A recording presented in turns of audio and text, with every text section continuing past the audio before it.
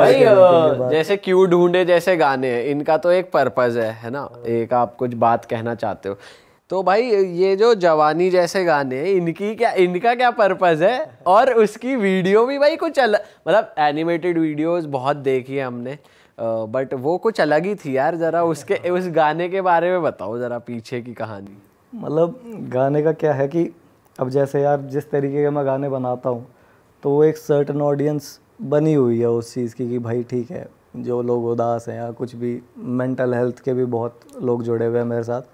तो उनके लिए यार सिर्फ़ यही तो एक आधा कभी मन करता है कि यार ये भी देखो ना मौज लो क्या दिक्कत है।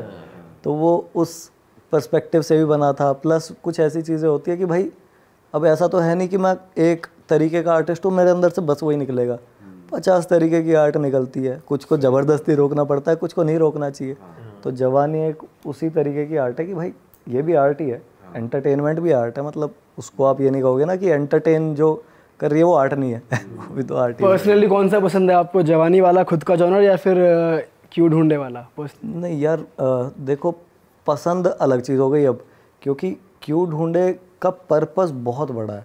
समझ रहे हो? क्यों ढूंढे जैसे गाने हो गए आपने चिड़िया एक रात रावण सावन ये वाले गाने हो गए इनका बहुत बड़े पर्पस हैं इनके। जवानी जैसे गाने की प्योरली एक सिंपल सिंपल. हाँ आर्ट है बना दी बस जो भी है।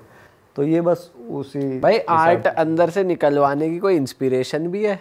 नहीं यार। या आप ले लेते हो कहीं से कोई चेहरा पसंद आया? नहीं नहीं इंस्पिरेशन कहने को तो सब कुछ इंस्पिरेशन है। मैं कोई ऐसा ही थोड़ी भगवान ने फेंका हूँ।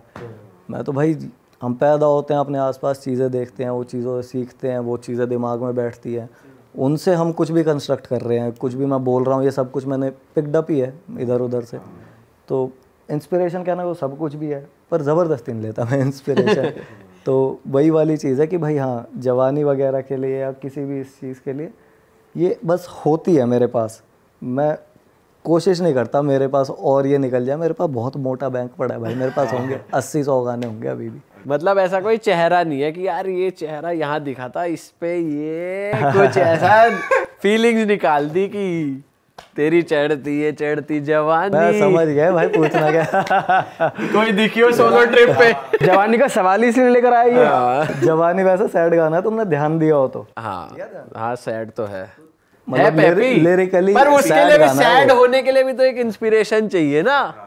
कोई सी अपने देश वापस लौट गई भाई हमारा इंडिया आ गया। दादा ऐसा कुछ नहीं है। भाई उन चीज़ों से अपना सब समय नहीं है। ठीक है जब समय आएगा तब वो चीज़ें भी हो मुझे क्यों लग रहा है वो समय सात साल बाद आएगा? नहीं नहीं। सात साल बाद तो हम ही बूढ़े हो लेंगे। हाँ।